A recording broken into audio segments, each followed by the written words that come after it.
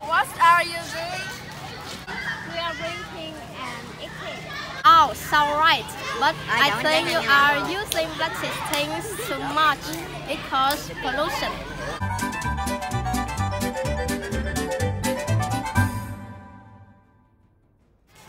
I mean, we use plastic things as plastic bags, straws, plastic bottles, cups, or socks. All of them cause pollution. Exactly. At recent, Vietnam is the top four of the world about water pollution. And now here they lie, but at the air of the unknown. Portal One, like hundreds of millions of tons of his plastic burdens, ends up in a landfill.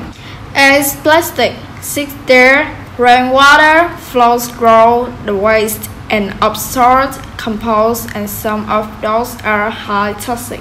Together, they create a harmful stew called leachate, which can move into groundwater, soil, and stream, poisoning ecosystem and harming wildlife. Portal 2 He blows on water that reaches a stream, a stream that falls into a river, and a river that reaches the ocean. After months flood at sea, he slowly dries into a raised Pacific garbage patch. Some animals like seabirds get food in the mess.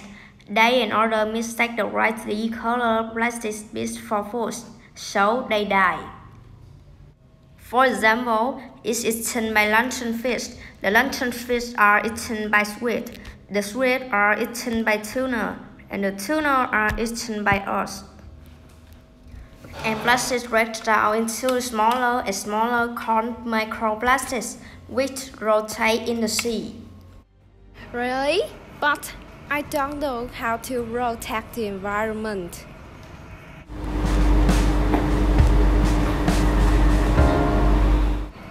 Three R are the best ways for environment.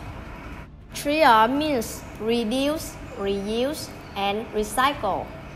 First, no use plastic straws. Use inox or bamboo straws instead. Second, cover things with paper packets instead of plastic bags or socks. Third, use plastic relays for plastic cups. Or reduce using plastic drinks bottles. Reuse them as we can. Fifth, carry the on containers, for example, cloth bags or paper bags. Six, classified trash include paper, plastics, organic glass, battery. Let's join building the earth environment from the smallest actions.